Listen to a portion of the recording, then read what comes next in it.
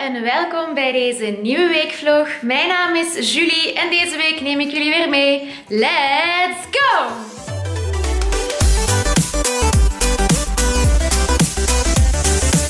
Het is dus zondagochtend en we hebben repetitie vandaag van 10 tot 12, dus we moeten wel eens beginnen vertrekken. Ik kijk er naar. wel vroeger klaar zijn. Gaan we vroeger klaar zijn? Maar misschien kunnen we dan andere liedjes zingen. Daar was ik echt aan het denken. Dat we gewoon eens andere liedjes van, ik bedoel, van, van het repertoire van Spazon zingen. Ja, gaan we dat doen, Xander? En doe gewoon een heel lange opwarming. Ja, toch niet dat we daarvoor een uurtje naartoe zijn gegaan? Nee. Doe iets tofs. De repetitie zit erop. Het was heel leuk om samen te zingen, ook al waren het alleen maar oes en a's en hier en daar een zinnetje. Dat is leuk om toch nog eens ergens naartoe te gaan andere mensen te zien en te spreken. Zit jij ook blij, Xander? Ja, ik ben heel blij. Het was heel leuk. Maar we hebben dus toch niet andere liedjes gezongen, want we hadden toch geen Maar de tijd. tijd was al, het was tien voor twaalf voordat we klaar waren. Dus Ja. twaalf uur was, kwam iedereen uh, mama's en papa's eh, kindjes halen. Vanavond eten we weer iets heel lekkers, namelijk risotto rijst met halloumi, courgette, pijnboompitjes, een beetje pesto, basilicum, ui, look en parmigiano. Smakelijk! Het is ondertussen maandagavond en de opnames voor de opdracht van Spotson zitten erop. Het was heel leuk, we zijn terug thuis. Daar is de buurvrouw. Met haar twee honden. Alle Gaan we twee. eindelijk kennis maken? Maar die wil dat niet. Maar jawel! Ik zal die hond wel tegenhouden. Kom, die wil dat niet, want Jess, dat is jouw liefje. Jess, jouw buurjongen is daar. Onze buurvrouw heeft twee honden, één grote en één kleine. En die grote is verliefd op Jess. Ik vind je wel knap vandaag. ik ben ook gewoon een hele knappe man. Eh, goedemorgen, het is vandaag dinsdag ehm, en Xander en ik hebben zondag iets heel speciaals gedaan. Namelijk, eh, we hebben een kinderkamer online besteld. Ehm allee, het is te zeggen een eh, bedje en een commode. En daarnaast hebben we ook nog een eh, box besteld met een box kleed. Dus ja, ik weet dus niet of dat, dat mensen mij nu raar gaan vinden dat ik dat op 17 weken al gedaan heb. Maar ja, dan heb ik zoiets om naar uit te kijken, want het komt vandaag al toe. Ik weet niet of we het vandaag effectief ook al in elkaar gaan steken of ons dat gaat lukken met ons twee. Maar we zien wel. Eh, ik ben alleszins super excited. We hebben het trouwens allemaal bij Petite Amélie besteld. Een super mooie online webshop. En ik heb vanavond ook een afspraak bij de huisarts, omdat ik ja, aanhoudende hoofdpijn heb. En dat ik eigenlijk niet meer zo goed kan functioneren. En dat is echt ja, niet aangenaam en ik denk ook niet normaal. Daarnaast ben ik ook super, super, super moe. Ik ben nu al een paar avonden rond 9 uur gaan slapen. En het is niet dat ik... Allee, ik sta pas, pas op rond 7 uur, half 8. Dus ik heb bijna de klok rondgeslapen en ik ben eigenlijk nog altijd super moe. En normaal als je in het tweede trimester zit, dan eh, voelt je je heel fit en energiek en zo. Maar ik heb me echt nog nooit zo onfit gevoeld als nu. Ik sport en beweeg buiten wandelen ook niet echt, ehm, omdat ik me gewoon zo ellendig voel. Terwijl dat ze net aanraden dat je voor eh, de bevalling echt heel fit moet zijn en zo. Maar eh, ja, momenteel lukt het echt nog niet. Ik hoop gewoon dat er niks ergs aan de hand is of dat ik me niet aanstel of zo. Maar ja, ik kan niet doen alsof ik hoofdpijn heb of doen alsof ik in slaap val. Ik heb echt non-stop eigenlijk hoofdpijn. De ene moment kan ik er gewoon beter mee om of, of lukt het om nog te functioneren dan de andere keer dat ik echt amper kan bewegen omdat dan mijn hoofd gewoon ja, zo zwaar en pijn doet. Maar ja, het hoort erbij zeker. De box is toegekomen. Dat is zo'n makkelijk systeem dat je zo kunt ja, openklikken. Ehm, en dit is de bodem van de box. En ja, heel raar, maar om een of andere reden gaat dit niet eh, goed. Dus normaal gezien moet dat tjoepje hier over dat hout komen, maar dat lukt dus niet. Ik heb al een foto gestuurd ehm, naar Petite Amélie om te zeggen dat er iets mis is. Ik denk niet dat het aan ons ligt, want we hebben daar echt heel lang mee liggen klooien. Hier staat de doos ook nog, dus ja, moesten we het kunnen terugsturen of zo, of ja, ik weet niet wat, dan kunnen we dat nog altijd. Hier ligt ook mijn eerste echte jeans zwangerschapsbroek. Het is echt nog super veel te groot, want dit flappert echt nog. Dus ik denk dat dit vooral een broek gaat zijn die ik in de, ja, in de zomer ga dragen. Het is echt een hele luchtige en losse mom jeans. En je kunt hem ook zo leuk omplooien. Dat is voor later, denk ik. We zijn hier al begonnen met het bedje. Dit zijn de poten. En hier staat nog wat. En hier, maar ik moet dus nu naar de dokter. Dus dan ga ik daar nu naartoe. Tada! Het bedje staat al. De commode gaan we later doen. Want het is al kei laat ondertussen. En ik ben dus ook al terug van de dokter. En mijn bloedresultaten van de vorige bloedafnames uh, waren ook binnen. En ze heeft die nagekeken en alles was echt picobello in orde. Al mijn waarden, dus ik had geen tekorten, niks. Dus zo ziet je maar, vlees eten is niet belangrijk. Nee, is niet waar. Maar ik neem wel maar twee supplementen. Dus uiteindelijk ben ik wel trots dat ik zo gezond ben. Al voel ik me helaas wel zo niet. Dus um, ze heeft wel aan mijn nek en mijn schouders gevoeld. En ze dacht misschien dat het dan spanningshoofdpijn was. En dat die vermoeidheid dan gewoon te maken heeft met de zwangerschap. En dat ik een van de weinigen of... Een, of ja, ik weet het eigenlijk niet, maar gewoon dat ik iemand ben die ehm, dan niet in het tweede trimester heel energiek is en uh, dat ik gewoon moe ben en heel de zwangerschap waarschijnlijk moe zal blijven. Dus uh, ze zei al van ja, misschien moet, ik, moet je een paar dagen thuis blijven van je werk en zo. Maar ik dacht, wat maakt het uit? Ik ga het gewoon rustig aan doen en we zien wel. En dan uh, de laatste drie maanden zal ik wel rusten zeker. Maar het ding is gewoon als ik thuis zou zitten, dan vind ik nog wel allemaal dingen om te doen ergens wel een beetje raar dat het dus niet echt uh, een oorzaak heeft of dat die toch niet gevonden is. En ze wil ook geen scans laten doen en zo met de stralingen en de zwangerschap en behandelingen kun je nu ook niet echt doen. Of rare medicatie geven of zo. Dus uh, ik zal er gewoon mee moeten leren omgaan, denk ik. En ik had dus daar straks een berichtje gestuurd op Facebook naar uh, Petite Amélie om te zeggen dat die haken niet goed werkten in het hout en zo. En dat, dat, niet, dat het gewoon niet lukte. En een foto gestuurd.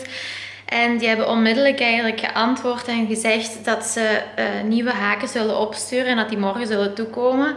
Dus ja, wel een heel fijne klantenservice. Hopelijk werken de haken nu wel en ligt het niet aan de spijlen van het hout.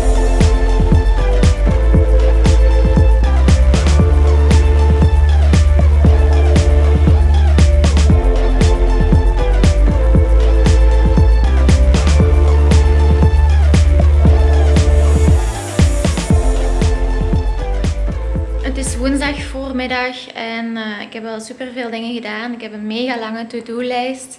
Vanavond moet ik gaan werken, um, maar daarvoor ga ik echt niet chillen of zo, helaas. Eigenlijk zou ik dat wel moeten doen. Maar het zijn allemaal zo van die kleine taakjes in het huishouden of administratief of wegbrengen of naar de winkel gaan, uh, bestellingen, weet ik veel wat allemaal. Xander heeft ook gevraagd of dat ik een cake wil bakken. Um, omdat zijn ouders morgen weer komen helpen met klussen boven. En ik ga vrijdag ook naar Marijn. En ik dacht, ja, dan ga ik ook een cake bakken voor haar. Dus ik ga twee, twee cakes bakken. Dit is trouwens ook echt niet van mijn gewoonte. Maar ik heb dus drie pakketjes. En ik ga maar één broek houden. Dus ik moet dit allemaal gaan terugbrengen. Goed voor de portemonnee, maar minder voor mijn... Uh, ja, kleerkast. Want ik ben echt op zoek naar een zwangerschapsbroek die niet al is voor negen maanden, maar voor nu. Ik moet eigenlijk nu vertrekken naar mijn werk, maar ik heb dus twee taarten gemaakt. Eén appelcake en één tartatin. En ik wou die eigenlijk niet samen in de oven steken, maar als ik ze alle twee apart in de oven moest steken, was ik... dat ging gewoon niet, want ik moest vertrekken. En ik dacht, ik ga ze samen naast elkaar doen. Het zijn twee ronde vormen en ik had niet door dat dat er niet in paste. Dus heb ik ze onder elkaar gezet, waardoor dat, ja, de onderste natuurlijk niet is uitgebakken. En het moet nu nog 5,5 minuut in de oven staan. En de bovenste uh, tartatin ziet er nog heel wit uit. En ik zou eigenlijk echt nu moeten vertrekken. Dit is de tartatin geworden. Um, ja, ik heb hem dus omgedraaid. Het ziet er niet echt mooi uit. Ik heb het nog niet geproefd. En dit is de cake geworden en die ziet er echt super goed uit. En hij proeft ook echt heel lekker. Dus die is wel alvast gelukt. Ik ga nu een stukje van de tarte tatin proeven. Dus niet verkeerd, maar proeft niet hoe dat een tart uiteindelijk hoort te proeven. Maar het is wel oké.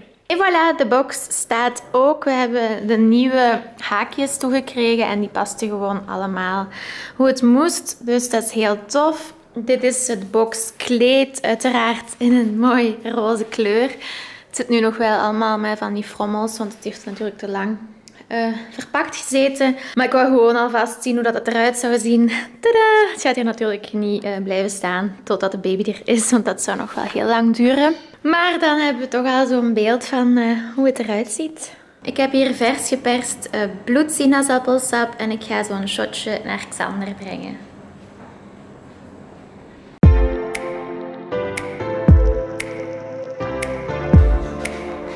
Xander, ik heb iets voor u. Proef eens. Ik heb het zelf nog niet geproefd.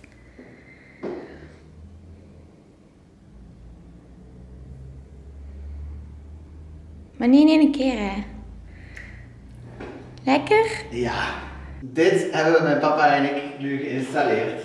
Dus vliegeraam, een, uh, nee, een uh, verduisteringsraam, dat het donker kan zijn. En een vliegeraam. Hier hetzelfde, maar dit was er al. En dit hebben we nu geïnstalleerd. Gewoon een vliegeraam zodat we het kunnen openen. Oei, er is een beest binnengevlogen. Hier, weg. Ja. We zijn net terug van een locatiebezoek, um, weer voor de repetities van Amuse. Deze keer zijn we naar een basisschool gegaan het was echt super tof, heel interessant. Uh, we gaan nu allemaal weer bespreken met het bestuur, um, dus we zien wel. En nu ben ik heel blij, want ik ga naar Marijn. Ik uh, ga die verrassen. Ik heb die al niet meer gezien van 24 december, van toen onze reveal was, van, uh, dat we zwanger waren. Dus dat is echt ja, uh, bijna drie maanden geleden ondertussen.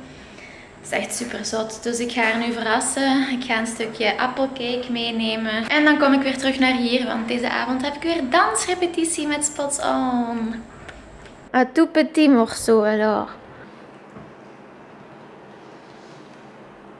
Ben, c'est déjà parti. Hey, tu vas vite, hein? Ik cherche terre.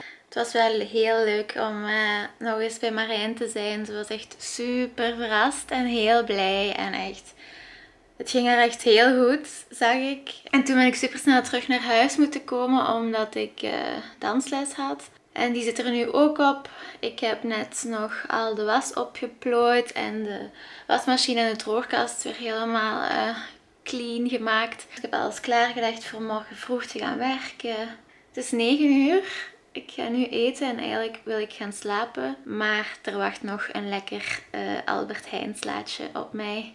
Oh jong, wat een weer, wat een weer. Het is echt niet normaal. Uh, ben echt bijna weggewaaid. En onderweg ook. Dan moest, ik, dan moest ik mijn zonnebril opzetten. Daarna moest ik mijn ruitenwissers doen. En moest ik mijn lichten aandoen. Nee, dat is niet waar. Maar het is gewoon echt...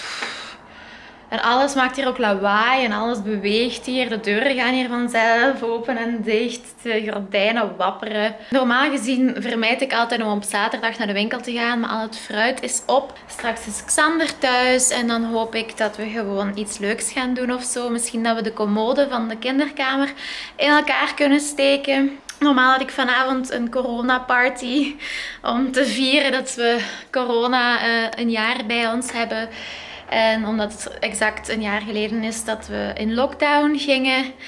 En normaal uh, gingen we dan zo'n online feestje doen met een paar vriendinnen. Maar blijkbaar gaat dat niet door, want ja, miscommunicatie en zo. Dus uh, ik heb een vrije avond. Wauw. Dan kan ik even opladen, want volgende week is het echt een super, super drukke week. Uh, ik moet keihard gaan werken. Ik heb heel veel afspraken daarnaast ook nog. Dus uh, beter de batterijtjes opladen, want vannacht kon ik gewoon niet slapen. Ik ben rond uh, half drie wakker geworden om naar het toilet te gaan. En toen kon ik niet meer slapen. Xander wakker gemaakt. Uh, ik was zelfs aan het denken van, zou ik misschien naar beneden gaan, een beetje op mijn computer zitten en zo.